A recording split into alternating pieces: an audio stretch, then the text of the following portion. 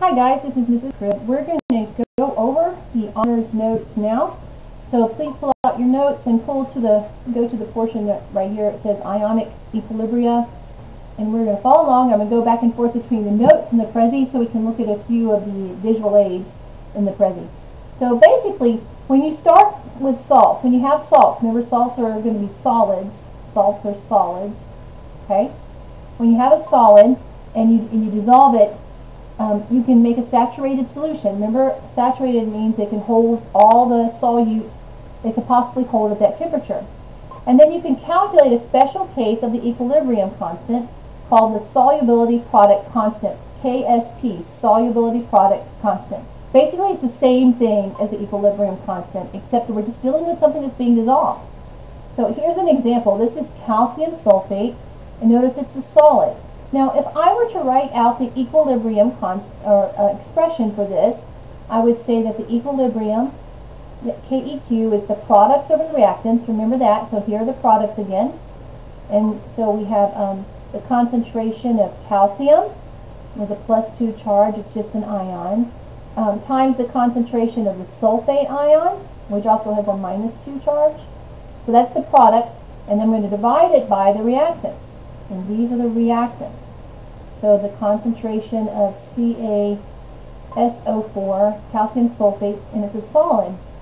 But then we told you earlier in this chapter, when you have a, a solid or a pure liquid, the concentration value is a 1. So since this is a solid, um, this that means the bottom here becomes a 1. And all I have left for the equilibrium constant is the concentration of calcium plus 2 times the concentration of the sulfate ion, and that's it. I lost the bottom because it was canceled out.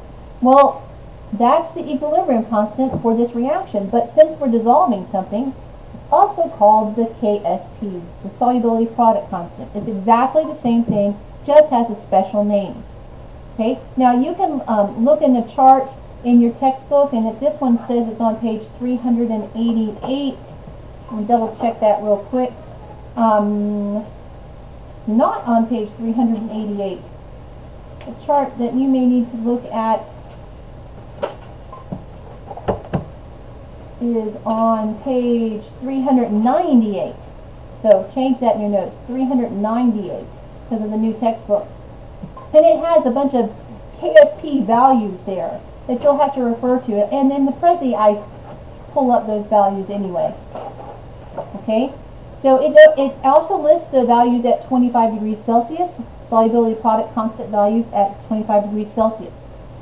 Um, and you can input actual molarities and, and molar mass of the salt and the solubility of salt for all of these because it has all those listed. Now when the KSP is less than 1, now remember when the KEQ was less than 1, we made an arrow and we say it's favored, it's in the reverse direction. That means when it's in the reverse direction, there are more reactants than products. So more reactants than products. So when it's less than 1, you say that the salt is insoluble or not soluble. Insoluble. Well, that's because it's favoring the reactant side. It, that means up here, if it was less than 1, it would be favoring the reactant side of CaSO4 it's insoluble. When the KSP is greater than 1, then you have you're going to favor the product side. So remember when the KEQ was greater than 1, um, you favor the product side. So you're going to make more product. So in this case, you would dissolve it up here into its pieces. When the KSP is less is greater than 1, then you favor the product side. You say that the salt is soluble. So let's do an example right here. Um, and like, actually, let me go back to the Prezi. We'll look at it real quick. I have a picture. So here's another salt. This is a, a calcium phosphate. And notice it's a solid. So the KSP, the equilibrium expression, is just the reactant side because this product side would go away because of the solid. So it's just the reactant side we deal with. So it's the concentration of calcium ions raised to the third power because of the coefficient times the concentration of the phosphate ions raised to the second power because of the coefficient. All right, and so now this refers to that chart. Again, it's 398, not 388. I need to fix that. And the, the chart is also in your Prezi though. So I'm going to let the chart come up here in our Prezi for us to do some of our examples. Um, let's see, magnesium hydroxide right here is the one I'm about to do. And notice it lists the, um, the KSP at 25 degrees Celsius. That's the value of the equilibrium constant then and it tells you the molar mass of magnesium hydroxide, and it also gives you the solubility in grams per liter of magnesium hydroxide. So we'll refer back to this chart. Let's go back to the notes. So what is the KSP expression for magnesium um, hydroxide? Well, what you do is you take the magnesium hydroxide, and you should do this with each one of these things that we're dissolving. Write the um, balanced equation so we're going to break it apart into its ions. We have magnesium with a plus 2 charge, and we have hydroxide ions with a minus 1 charge. Now, in this molecule, you'll notice we have two hydroxide ions, so I need to put a 2 right here. I only have one magnesium, so I just need a 1. So really, you don't have to know oxidation states or anything to get this all the way correct.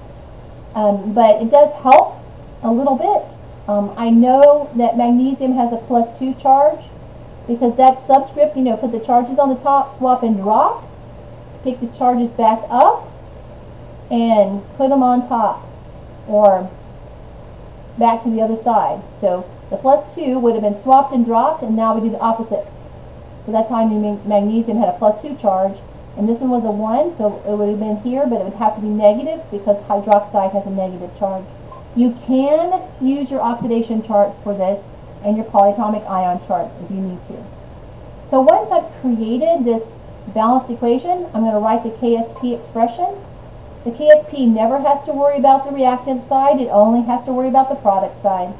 So it's the concentration of magnesium, and that's the ion, times the concentration of hydroxide, and because of this number 2, it is squared. So that is the expression for the KSP, the solubility product constant of magnesium hydroxide. All right, now let's go on to solubility and equilibria. Um, we, this was lead phosphate solid, and it, and it breaks apart. Notice we have three leads in the molecule, so there are three leads on this side, three lead ions. We have two phosphate ions in this molecule, so we have to have two phosphate ions when it breaks apart. So that's the balanced equation. So first you write the expression, and the expression would be the concentration. Now remember we, we're dealing with salts, so we only have to deal with the reactant side. So it's the concentration of lead, and lead is a lead 2 ion, but I have three of them, so I have to have the 3 exponent, times the concentration of phosphate, all right, and then I have two of them, so it has a, a exponent of a 2. So that's the, the equilibrium expression. And you can get that, that is on page 398, and I think in the Prezi, let's see, lead 2 phosphate, I mean, uh, lead, yeah, lead 2 phosphate is right here. There it is.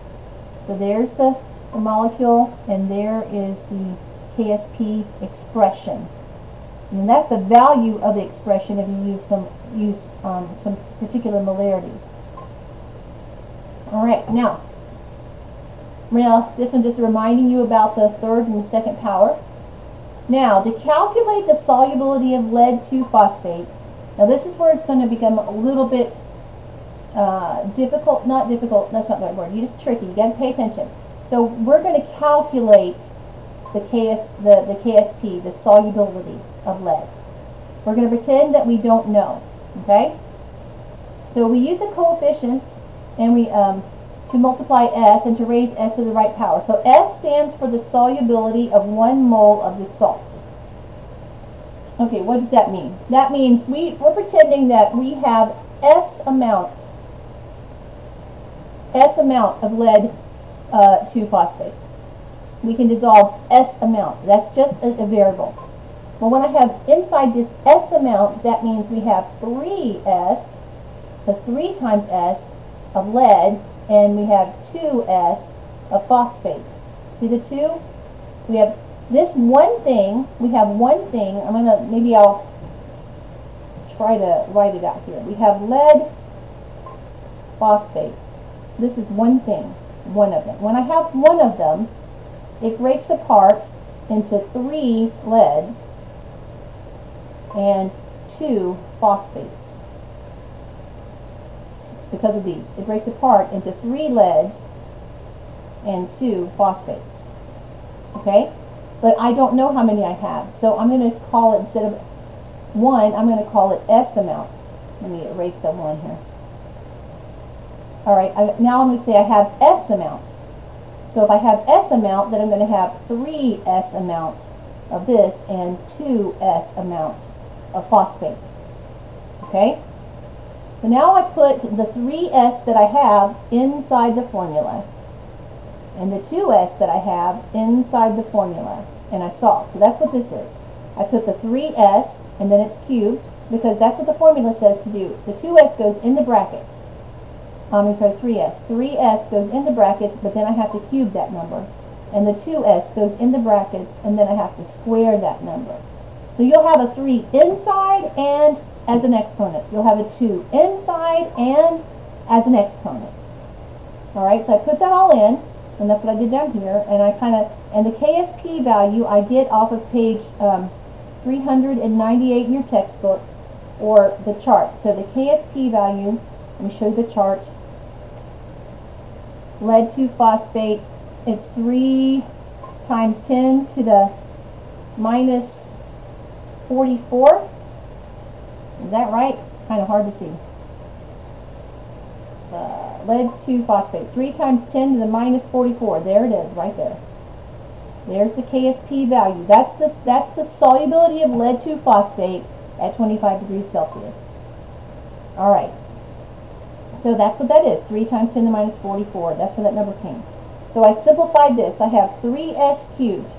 Or 3s cubed is 27, because 3 cubed is 27, and s cubed. And then I have 2s squared. So remember, we have to square the 2 and square the s. So this 2 squared is 4, and the s squared is just s squared. Now we're going to simplify it. 27 times 4 is 108. And then s cubed times s squared is s to the fifth. Okay, so we're getting close to solving for s. That's what we're trying to solve for. All right, we divide both sides by 108. So we have just s to the fifth power. And then I have to take the fifth root. I took the fifth root of this to figure out what S was.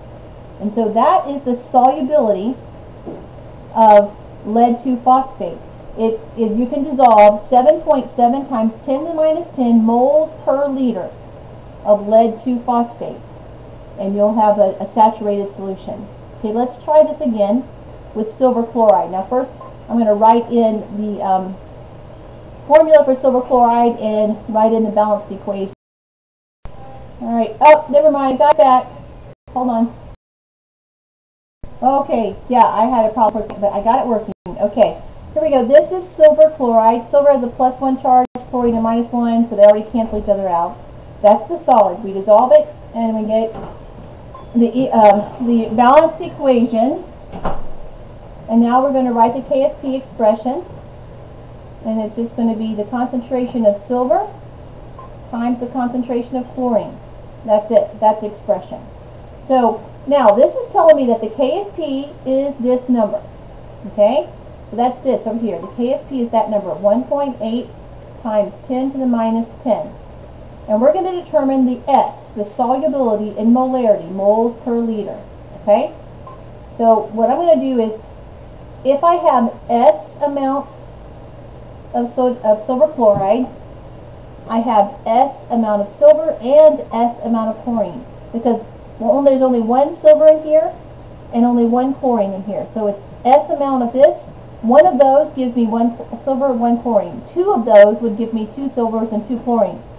S of those would give me S silvers and S chlorines. So I put S inside the brackets and then this, this is just s squared. And so it's 1.8 times 10 to the minus 10. I take the square root of both sides so that s equals the square root of 1.8 times 10 to the minus 10. So you just got to make sure you get that number in your calculator. Okay, so I put a calculator, and so that the square root of 1.8 times 10 to the minus 10 is 1.3 times 10 to the minus 5. So that is the solubility. That's how many moles per liter can be dissolved to get a saturated solution at 25 degrees Celsius. All right? So now let's try this. If you calculate the KSP and you get, uh, say, if, if the calculated KSP, what you just did, like if I have to calculate this number, if you calculate something and, you, and when you get something that's less than the one listed on the chart on page 398, or the KSP given to you, um, then the solution is unsaturated. So basically, if you calculate KSP and the number is smaller than what's on the chart, you have an unsaturated solution. More could be dissolved. If your calculated number is greater, then it's supersaturated. And if it's exactly the same, it's saturated. So let's try this next example. We're going to take zinc hydroxide. So I'm going to pause this and write in the uh, formula. You can try writing it your own. Alright, now zinc has a plus 2 charge and OH has a minus 1, so swap and drop. There's my formula for zinc hydroxide. That's. We're talking about a salt and it's a solid. So we dissolve it and we break it apart into its pieces. There's one zinc over here, so there's one zinc here. And there are two OHs over here, so there are two there. So now to write the KSP expression, we don't have to worry about the reactant side because it goes away because it's a solid. It's just the product side. So it's the concentration of zinc times the concentration of hydroxide squared. And it's squared because of that number right there. So it has to be squared. Now, now, now that we know that, we, we're going to figure out the solubility. Um, no, actually, we don't have to figure out the solubility. What we're given here is calculate the KSP if we have this much zinc. So we know how much zinc we have. We start off with a 2.5 times 10 to the minus 6 moles of zinc. All right, whatever we have here, we have the same amount of, of zinc hydroxide. We have the same amount of zinc. 2.5 times 10 to the minus 6. But we have twice as much hydroxide. So 2 times the 2.5 times 10 to the minus 6. Now do you see that again?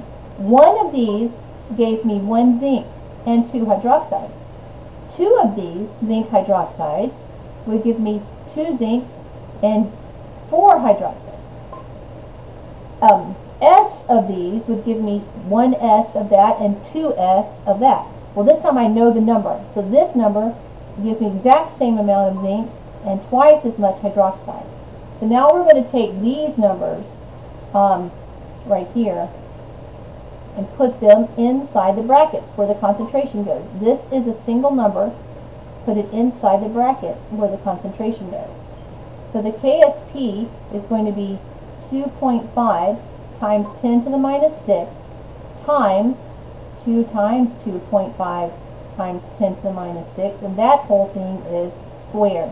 So you notice the whole portion, twice as much goes in here, and the single amount goes in here.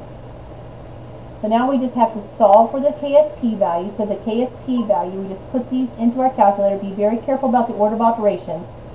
Um, it's going to be 2.5 times 10 to the minus 6 times, then, then I'll bring up my calculator real quick. all right, 2 times 2.5, second function e negative 6. So this one would simplify as 5 times 10 to the minus 6. That has to be squared. All right, now we're going to multiply both of those things together, and I'll give you the... All right, so now KSP value is 6.3 times 10 to the minus 17. Okay, now we're going to compare that to the value on page 398. So on 398, 398, what's the KSP for zinc hydroxide? So I'm going to look at the chart. um, uh, the Prezi. Here we go. Find it. There it is. Zinc hydroxide there at the very bottom. And um, it's hard for me to point, it keeps giving me this blue line, but zinc hydroxide's at the bottom. There we go. And it gives me the KSP is 3 times 10 to the minus 17. That's what the KSP at 25 degrees is. 3 times 10 to the minus 17. So let's go back to our work. So on, the, on that page, it's 3 times 10 to the negative 17. Well, the value we calculated is 6 times 10 to the minus 17. So which one of those is a bigger number, right? Well, the product is greater than the KSP of 3 times 10. So we must have a supersaturated solution. This number is greater than 3 times 10 to the minus 17. So it's a super saturated solution. More is dissolved than should be. Okay. All right, that's the end of that. And let's go back to the Prezi. Okay, now I kind of go back and forth in the Prezi. Um, here's another example. That's the silver chloride example. And we already did the silver chloride example. And that's the lead phosphate. And this is showing you how to work out another one, the zinc hydroxide. So we did silver chloride here. And we did um, zinc hydroxide. So now we have this solubility product. Now notice this says the answer keys are over there. So that's where I've worked it all out. But we are going to assign these um, in the Edpuzzle, and I want you to give it a shot. These right here. There's a, several of them. So I can't do this on the screen, but um, you're going to try them out uh, Ed, in Edpuzzle. All right, so that's all we're going to do for now. So I'll see you